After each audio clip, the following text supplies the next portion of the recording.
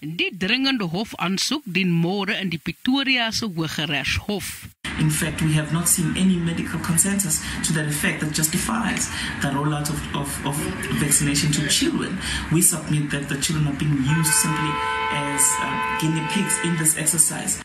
Die Nasionale Instituut vir Oordraagbare Siektes het vroeër toegegee dat oningeënte kinders 'n laer risiko is teenoor ingeënte volwassenes. Even though the 70 year old might receive the vaccine and make a response to SARS CoV 2, let's say after a year or so, their body will forget that they ever got that vaccine. And so that's where the, the difference lies. Whereas an 18 year old has a, a very robust young immune system. So even if they get infected, they're not vaccinated, their body can try and fight it off much easier than somebody um, who's a lot older.